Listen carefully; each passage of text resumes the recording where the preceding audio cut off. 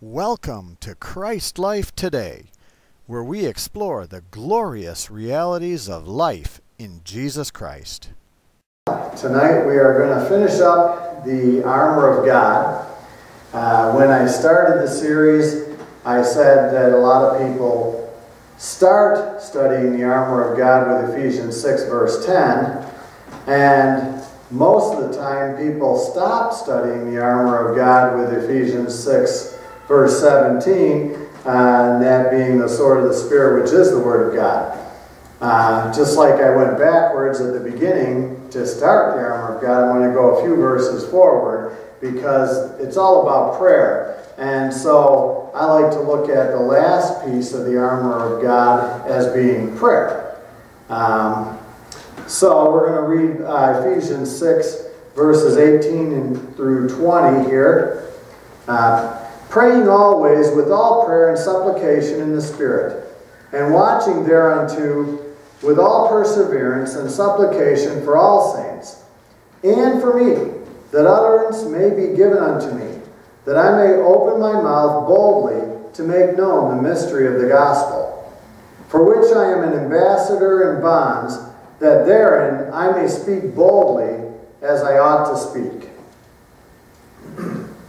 so, I find it interesting that after the armor of God, Paul has three verses basically focused on prayer.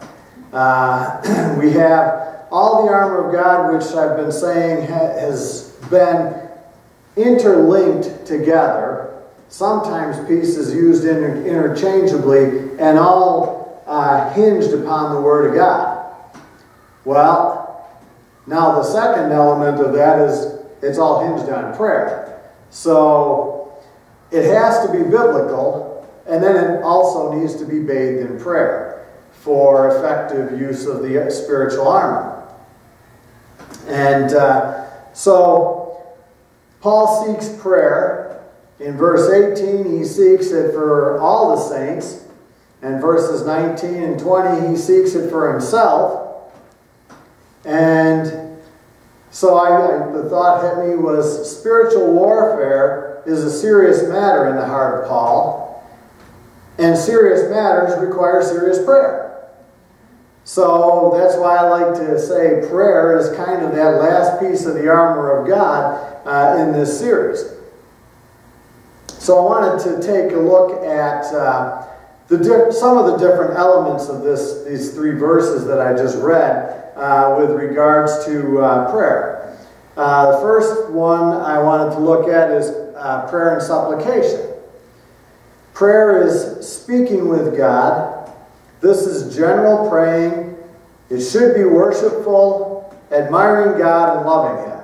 So that's the prayer part of praying always with all prayer and supplication uh, in the Spirit. Supplication is presenting God with needs.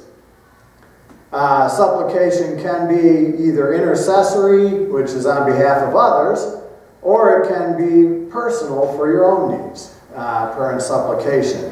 Um, and we see both here with Paul in these three verses uh, supplication, praying, uh, it says at the end of 18, with all perseverance and supplication for all saints. And then the very beginning of verse 19, and for me. So uh, there's prayer, there's supplication. Um, the next phrase that I wanted to look at was in the Spirit. Uh, Paul desires intense, meaningful, Holy Ghost led prayer. Paul's not soliciting uh, rote, memorized, rehearsed, and ineffective prayers. He's looking for us to pray fervently in the Spirit. He wanted and needed earnest, faith filled prayers as led by the Holy Spirit. So he asks for prayer for all the saints, again, immediately following the armor of God, because he knows that armor is worn in spiritual warfare. You know, you don't wear armor to a birthday party, you don't wear armor to a wedding feast. You wear armor in battle. So it's not surprising that prayer immediately follows kind of the uh, sword of the Spirit, the end of the, what we would normally call the end of the armor of God, Well, praying always, all prayer and supplication in the Spirit. Uh, so Paul's looking for fervent, real, God led prayers. Um, I think I've said before that uh, if I say, you know, uh, Lord, I want a million dollars. Well, that's a prayer, but apparently it's not God led, yet, at least not at this time, because He hasn't given it to me. and if He's leading me to pray that, He's going to answer. He answers His prayers that He leads us to pray. So that's why we need to be praying fervently in the Holy Spirit. Um, God led, faith filled prayers. And this is effective praying because it's also not presumptuous. This kind of praying is we spend the time necessary to hear the voice of God and pray accordingly. And then we can pray in faith because it's not my presumptions that I'm praying. It's what I've heard from God that He wants me to pray for. Uh, great example of that is when you're praying and all of a sudden somebody comes to mind that you hadn't thought of in a long time. Well, probably not an accident. I mean, you know, probably God saying, you know, I got something going on here, pray. And if God puts someone on your heart to pray for, He intends to do something about it. It may not be what we think, but He's got plans, He's got purposes. And that goes all with the spiritual warfare and the armor of God. We pray with all prayer and supplications in the Spirit so that we can succeed in spiritual warfare. And that's where we're going to go eventually here in these next couple of verses. Um, we're going to see kind of the, the big focus of the spiritual warfare. Uh, the next thing that I pulled out here watchful and diligent. It says, uh, watch, you know, watching thereunto with all perseverance. This speaks of the urgency of our warfare. It's essential, it essentially means to be attentively, to be attentively watching and diligent in our prayers and warfare practice. The definition includes staying awake, sleepless. It's part of the definition of that word. Uh, Paul is soliciting diligent, tireless prayers and supplications for all the saints. I don't know about you, but I need it. you know, we all need it. So Paul's saying, be watchful, be diligent in your prayer. And as we've talked about the armor of God, in your practice of the spiritual armor and the spiritual warfare that He's called us to. Be watchful, be diligent, uh, and uh, tirelessly, awake, sleepless. Now, He's not necessarily telling you to stay awake all night. Uh, because, you know, I've, I've heard it said sometimes the most spiritual thing you can do is sleep. Uh, you know, which a lot of times people who are real doers in the kingdom of God uh, sometimes deprive themselves of that at times. So, and he's not saying, even though this diligent watchfulness includes a sleepless type of an attitude, uh, it's not saying don't sleep when you need it. It's just saying be diligent all the time, watching, praying, praying for all the saints all the time. Uh, and then Paul says, and for me. He didn't want to be left out. I'm, I'm thinking here some thoughts that came to my mind when, uh, when I read that. And for me, he says, I'm, the thought comes to my mind, we tend to think, rightfully so, but we tend to think of the Apostle Paul as a mighty, powerful spiritual giant, which he was. I mean, we're not wrong in our thinking there, but sometimes we think in terms of he's on his great pedestal, uh, and he's untouchable, uh, he's, you know, somehow superhuman uh, type of thing. Um, and yet Paul was powerhouse spiritually. He certainly was. But like Elijah, he said, you know, like uh, Elijah's a man of like passions as us. Well, when you look at what some of the things Paul said, we see that as great as he was in the Lord, he was still human. And so he's asked for prayer for himself. And uh, Paul earnestly, we see Paul earnestly requesting the same types of prayers previously sought for all the saints to be prayed also on his behalf. So, God is not a respecter of persons. He uses human beings. Paul was a human being. He had his frailties and weaknesses. And we're going to see um, this in the next few couple verses as we look. Uh, some very interesting things, I think. Um, the next thing he says is, uh, and pray and for me, pray for me, what? That utterance, freedom of speech, and utterance may be given unto me, that I may open my mouth boldly to make known the mystery of the gospel. Reading the scriptures does anybody think Paul had a problem with boldness? I mean, I'm just not seeing it. I mean, the man was left under a stone pile. They left him there to be dead. He got up, went back into the city, finished the messages, and then took off. That doesn't sound like a lack of boldness to me. You know? Uh, He's defending himself in front of the Jewish leaders, in front of Romans. Uh, you know, he's in prison and they find out he's a Roman citizen and they did bad things that they shouldn't have done to a Roman citizen. So they come kind of quietly and say, um, you know, Paul, they'd like you to just leave. And Paul said, What? You mistreated a Roman citizen and you think I'm just going to walk out of here quietly? No, you have them come and escort me out. That doesn't sound like somebody who lacks boldness. When I saw this, I was like, really? Paul's praying that he may have utterance, freedom to speak boldly the way he ought? Really? Then it hits me that uh, Paul's the one doing this teaching on the armor of God, and my guess is that uh, this is not the first time Paul sought prayer for boldness. He's probably been praying it for himself all along. He's probably sought prayer from people he's ministered to and others for boldness all along. Uh, and so, probably the reason we don't see a timid Paul is because he's been praying for boldness and he's been asking for prayer for boldness.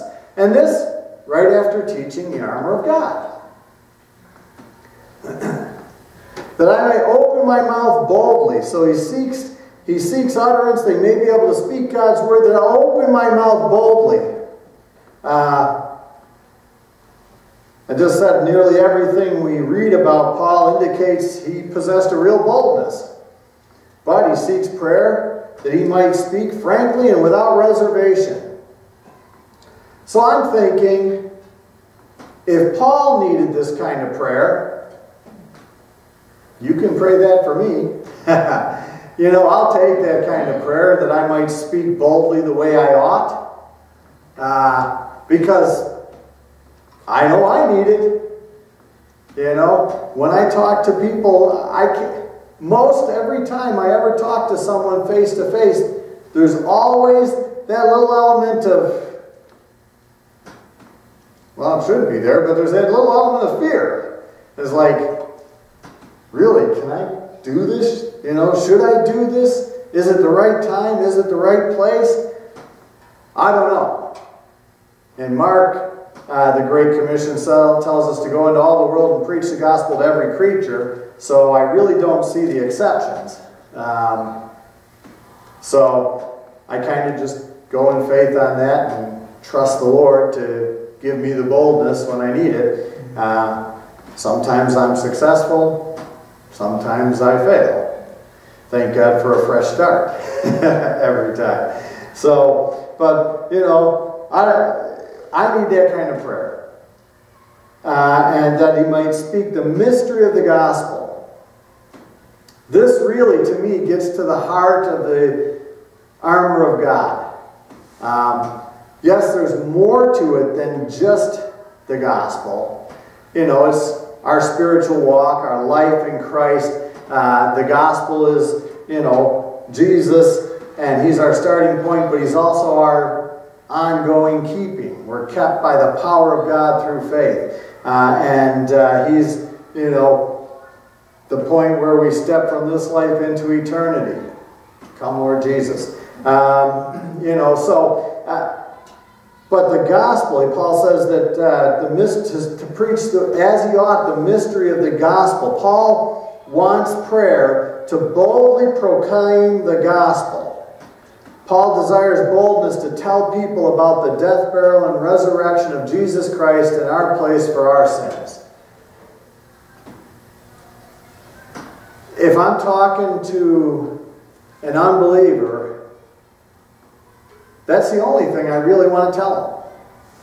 Because if I get into a debate about other spiritual truth, 1 Corinthians 2.14 tells us the natural man cannot, cannot receive the things of the Spirit because they're spiritually discerned. So, when I saw that, there's freedom in that. What liberty? You know, I don't have to debate abortion with anyone.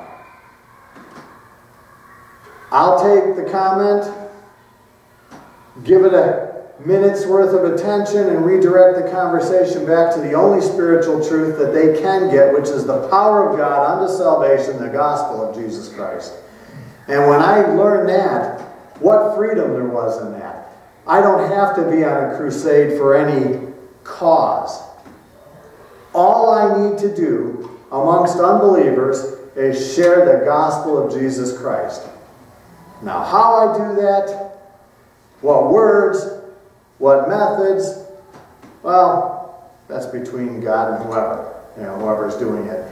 But I don't have to be on the crusade with unbelievers to prove or disprove theories, or prove or disprove theoretical facts, or prove or disprove. I don't even have to prove God. He doesn't need my help. He's very well capable of taking care of himself. The one thing that he wants me to do is share his power, which is the gospel of Jesus Christ, share his power unto salvation with everyone that I meet. And when the bunny trails come, my job is to get them back on the right trail. You know, that's a good question. I'm not sure I can answer that. But what I do know is that you and I are both going to stand one day before the great white throne of God, and we're going to stand in judgment. And God only lets holiness, absolute perfection, into his heaven. Are you going to get in?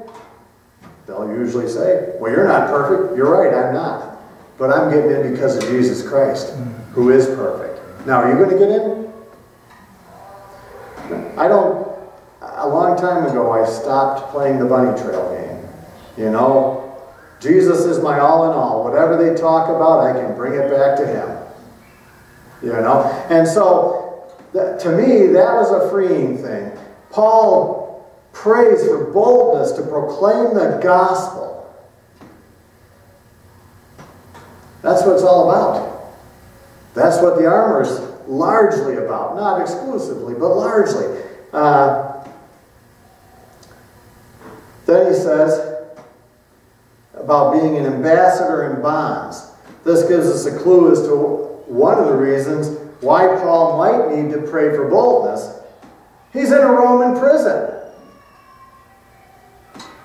You know, Roman prisons were not really the places that were conducive to bold inmates' longevity.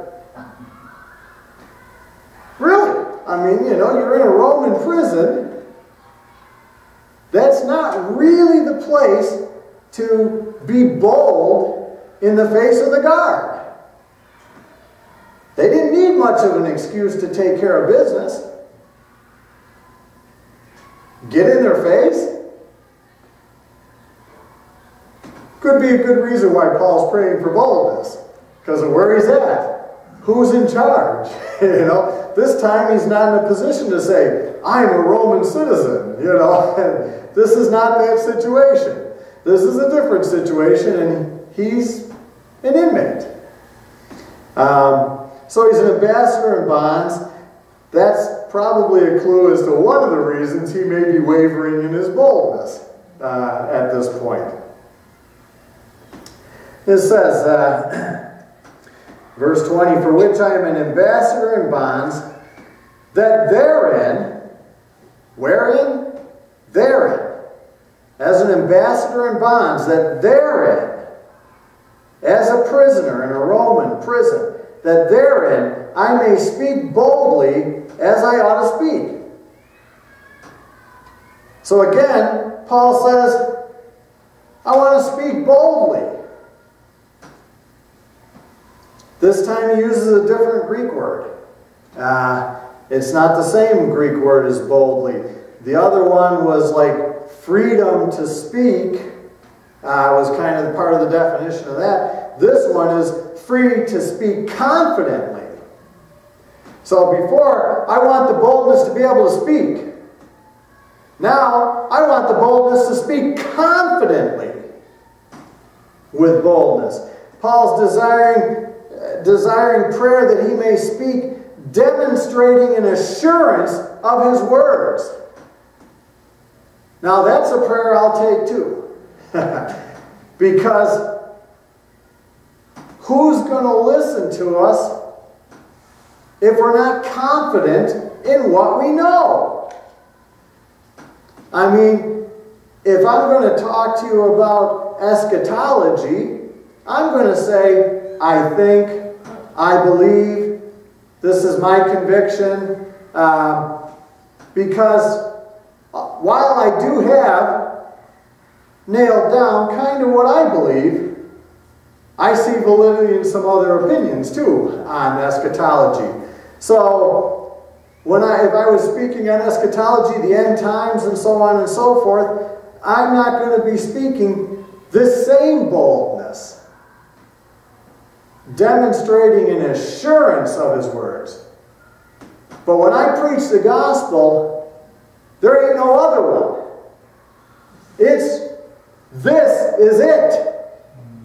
Jesus said, I am the way, the truth, the life, and no one comes to the Father but by me. That's what Jesus said. So if you got a way that's different than that, you're wrong. No discussion, no debate. Quite honestly, you're certainly welcome to your opinion, but I don't care. Because your opinion doesn't form my doctrine, the Word of God does. And if Jesus is only a way, then I might be wrong. God's Word is not wrong. 1 Corinthians 15, first six verses. That's the gospel of Jesus Christ. His death, burial, and resurrection in our place for our sins. And then God adds a little bit over 500 witnesses to his resurrection. Eyewitness accounts are powerful. Uh, so, Paul's praise for utterance and the ability to speak boldly, and he's so passionate about it, he uses two different Greek words. Uh, and the gospel, the mystery of the gospel.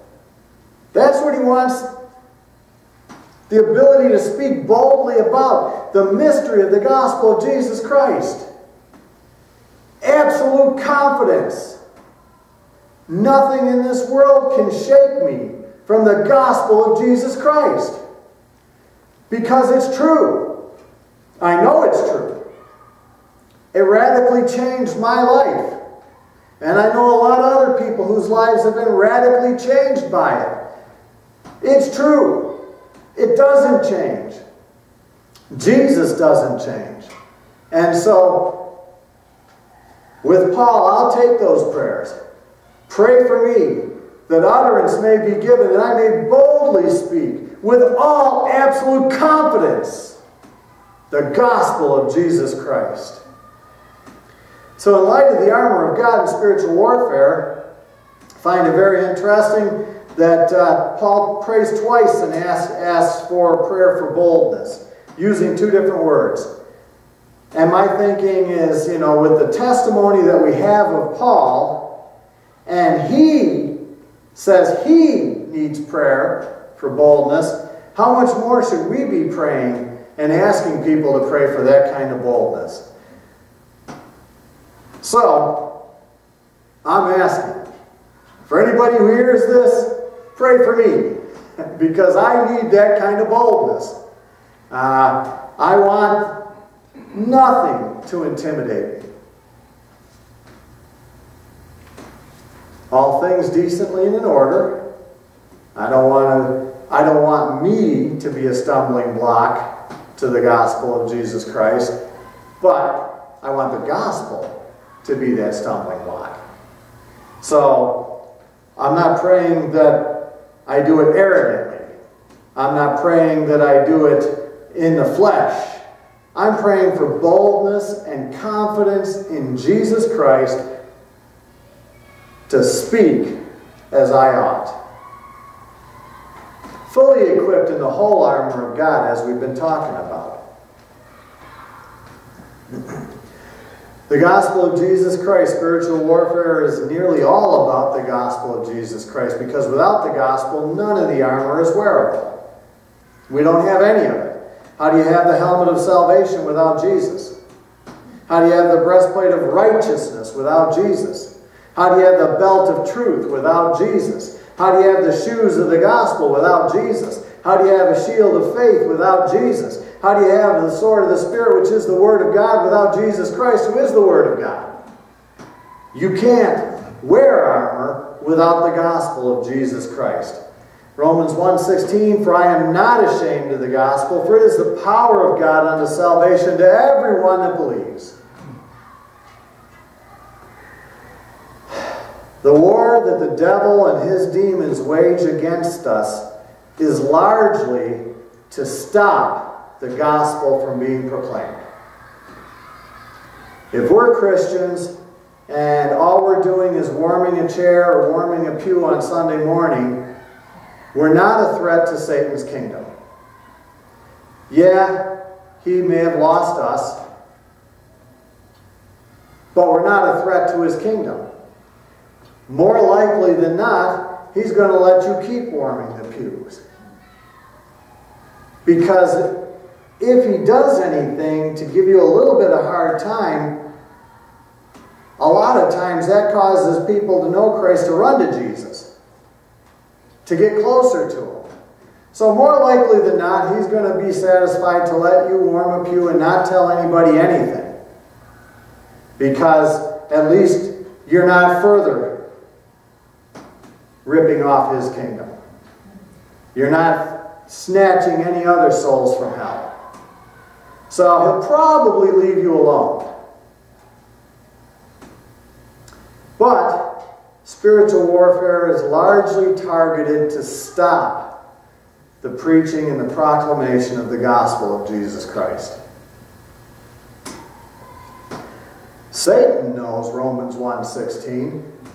He knows it's the power of God unto salvation. So powerful, he knows, the gospel is, that it can yank people out of his realms and put them in the kingdom of light. Satan knows that. That's why he doesn't want us to preach it. That's why he doesn't want us to wear the armor of God. That's why he doesn't want us to walk in victory. He wants dejected, sad, defeated, demoralized Christians. And that's why he's the father of lies. That's why the Bible says Satan comes as an angel of light and his ministers as ministers of righteousness. They're trying to deceive us, to make us impotent in the kingdom of God, to stop us. And it's not uncommon. You look through the Bible and you see a whole lot of people God used that didn't want to be used. Moses, not me, Lord, I ain't got no diction. Actually, he says something like, I don't wax eloquent in speech, which in his writing sounded pretty eloquent to me, but, you know, just saying. You know, Jeremiah, not me, Lord, I'm a child. Isaiah says, Oh Lord, here am I, send me.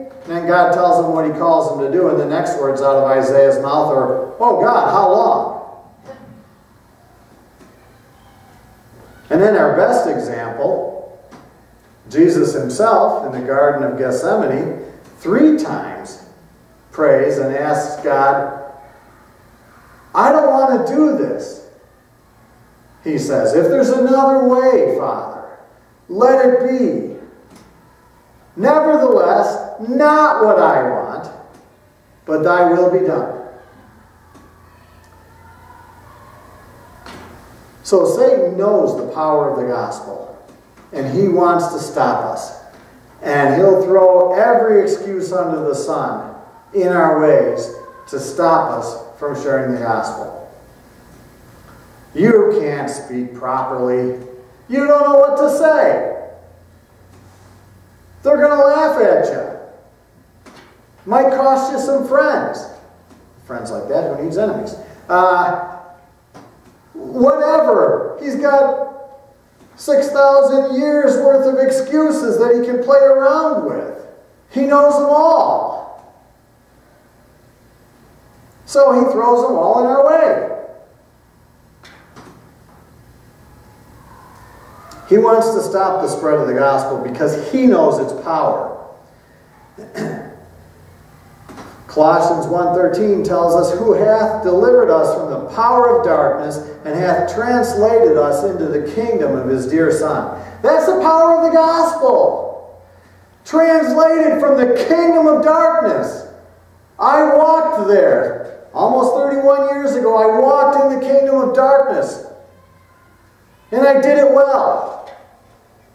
Kind of always been one, whatever I've done, I've done well even if it was the wrong thing to do. Um, but God translated me, transformed me from the kingdom of darkness into the kingdom of His Son, the glorious kingdom of Jesus. By the power of the gospel. Somebody, a part time teacher, teaching a class at the college I went to, who was a full time evangelist the first day of class, tells me the gospel in public school. You can't do that in a public college. You can't do that in a public college. He did it for 27 years. So, you know, who says you can't? Preach the gospel to every creature, you know. Try and do it decently and in order. Don't be ignorant. But I don't see an exception. And it was the power of the gospel that yanked me out of the kingdom of hell, the kingdom of darkness, and put me in the kingdom of Jesus. And I can't tell you how glad I am that someone shared the gospel with me. Can't tell you how glad I am. Um, I just pray that there's people along the way who would be up someday testifying about how glad they are that I shared the gospel with them. Probably many of us that we'll never know. But every once in a while, God gives us a glimpse. That's what we need to keep us going. The purpose of the whole armor of God, we think of armor, we think of battle, we think of protection. Um, but as I was pondering this, the purpose of the whole armor of God is both protection and proclamation. That's our battle. We wrestle not against flesh and blood, it says here, but against the, Satan and his powers. That's our battle. If the enemy can prevent the gospel from being boldly spoken, he's not in danger of losing more souls, souls destined for hell. Therefore, the whole armor of God exists not just for our protection, but also to keep us preaching his good news. And it's all tied. Footwear, preparation of the gospel of peace. It's all tied together. so Romans 10 13 through 15. For whosoever shall call upon the name of the Lord shall be saved. How then, how then shall they call on him in whom they have not believed? And how shall they believe in him of whom they have not heard? And how shall they hear without a preacher? And how shall they preach except they be sent? It is written, How beautiful are the feet of them that preach the gospel of peace and bring glad tidings of good things. Wear the armor of God, which includes footwear, the preparation of the gospel of peace. Have spiritually beautiful feet. How lovely, how beautiful are the feet of them that preach the gospel of peace and bring glad tidings of good things. This world is full of bad tidings of evil things. It's full of it. And as we look at news and things like that, it seems to be getting more fuller. Is that a word? I don't know. Uh, but it's getting worse. Though gross darkness covers the face of the earth, it's getting worse, if it's possible. It's getting worse. But in the midst of gross darkness, light shines bright.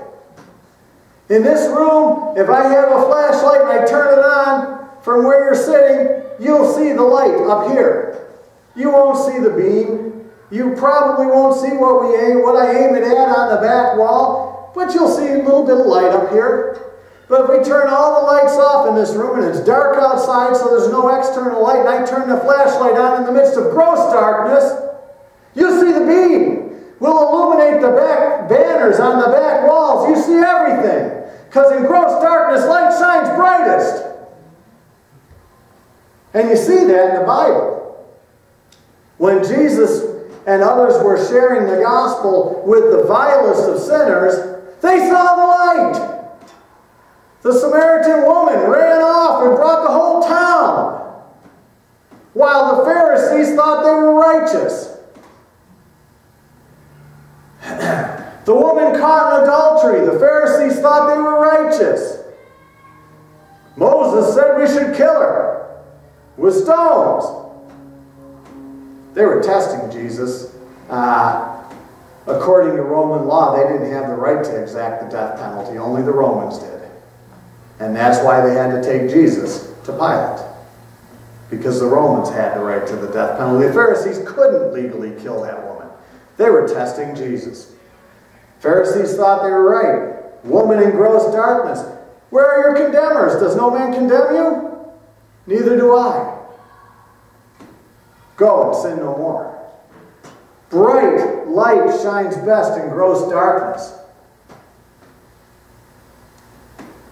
So, the challenge as we end is how shall they hear without a preacher? That doesn't mean you have to be ordained, doesn't mean you have to be an elder, doesn't mean you have to have a pulpit or whatever. You're sent.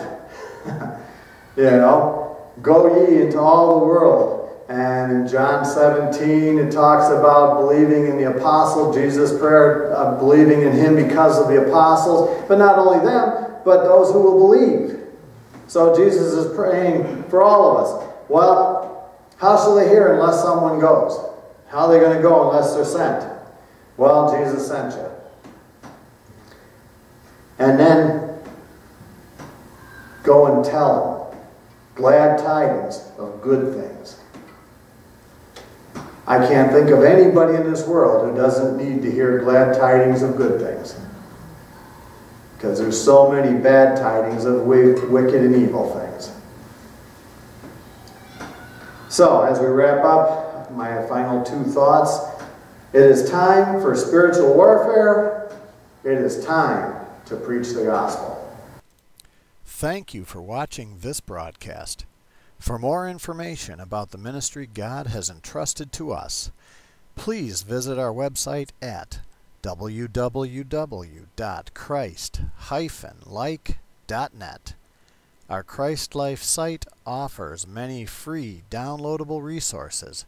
We hope you will visit us online soon and that our ministry will bless and strengthen your Christian life.